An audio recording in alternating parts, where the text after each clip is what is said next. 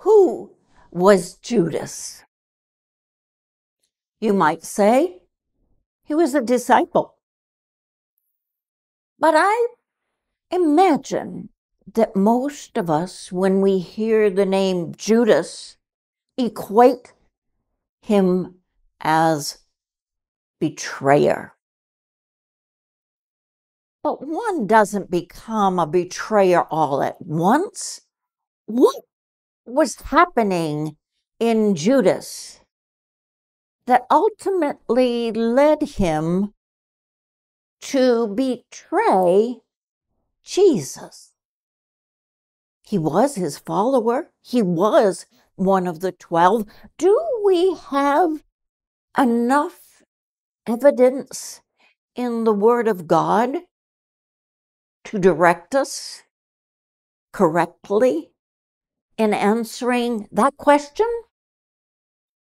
Mark and Matthew, in their gospel, tell us the precise time when Judas went to the high priest, the chief priest, the scribes to offer himself as a betrayer.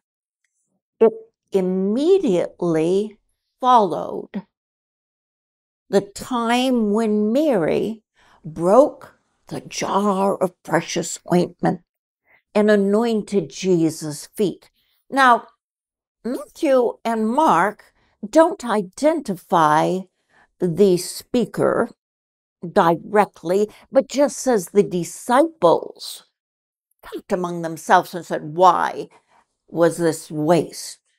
The Gospel of John, on the other hand, identifies him as Judas and gives us more information. But John does not equate the timing. So we must put all the Gospels together, put the puzzle pieces together to see the picture. But John gives us information that will show something that was happening in Judas' spirit, in his natural man. Because after he spoke the words, Why wasn't this sold and given to the poor? There is a parenthesis that says it wasn't because he cared for the poor, but because he was a thief.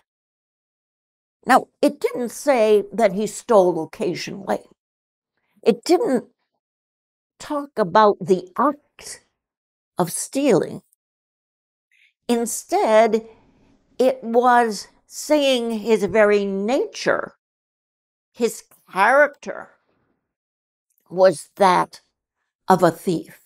And it went on to also inform us that he was the keeper of the bag. the money bag. Then it added that he would help himself to the money. He would help himself. It was his nature to be a thief.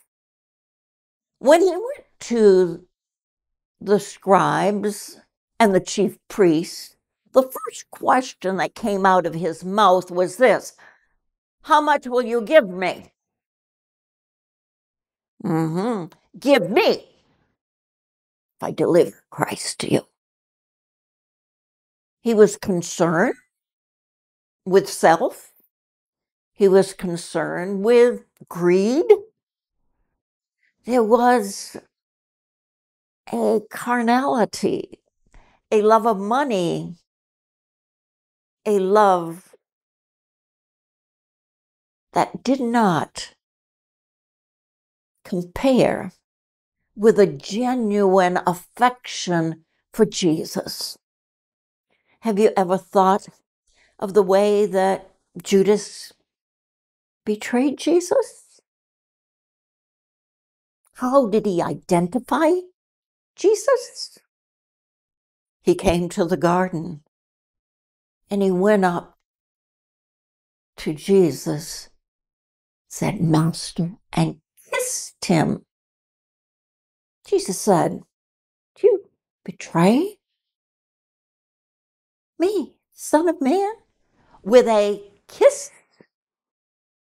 It was like a false affection. Was Judas ever sincerely in his heart a follower of Jesus? Was he ever really grasping, hearing, hearing, heeding, grasping the teachings of Jesus? And we ask ourselves, Lord, what is our nature? Am I a follower indeed? Do I love you more than anything? Do I love you purely? Do I serve you purely? And we ask God, Oh Lord, search us. Let us not be quick to judge the Judas,